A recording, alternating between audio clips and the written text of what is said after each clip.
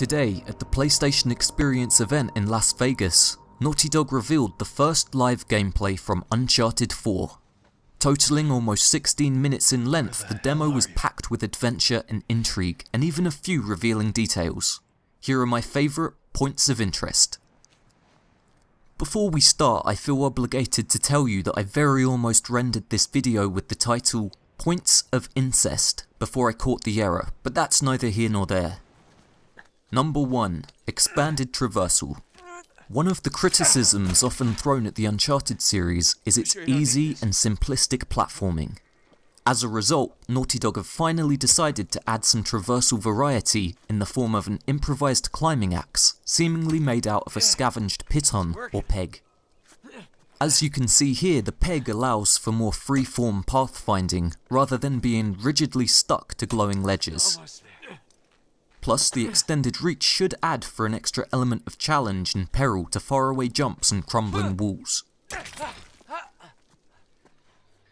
In addition, Drake now has access to a grappling hook, which can be used at specific points either to progress through the level or quickly flee combat. Story-wise, these tools may imply that Drake is more mindful of his safety now that he's older and wiser, or if this note is anything to go by, it's probably more likely that Elena has had harsh words with him about his recklessness. In regards to the gameplay, however, this suggests an increase and emphasis in vertical level design, and so it's safe to expect plenty of sweeping vistas and vertigo. On a minor note, I like how the gear remains visible on Drake's belt at all times. just a hop, skip, and a enormous leap away. Keep getting lucky. Number 2. Flexible Stealth. With the exception of Uncharted 2's tutorial, stealth, for the most part, has been completely ignorable.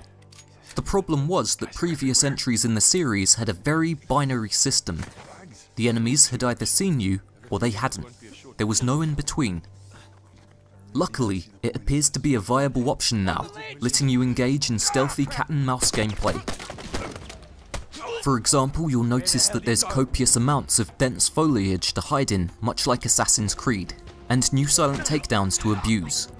But most importantly, instead of being all-seeing, all-knowing, unrelenting AI, the goons actually lose track of your position and spread out to search before returning to their patrols. Options are never a bad thing, and it's clearly one of The Last of Us's many influences on the design, this means that we're no longer trapped in controller smashing checkpoints that respawn you among alerted enemies. For players who favour the quiet approach, it's a very welcome change. Number 3. It's the little things. Like long guns now having straps. Enemies who self-preserve. Enemies who bleed. Drake being startled by flying animals. Environmental effects on clothing.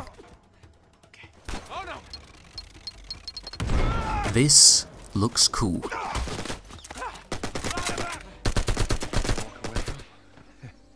It's good to see you alive, little brother. Number 4. The Brother. We got a treasure to find. Where have you been for the last 25 years? Why didn't Katherine Marlowe mention you when she was mind fudging us in Yemen? Where do you live? You're messing with my head, Troy Baker, and I kind of like it.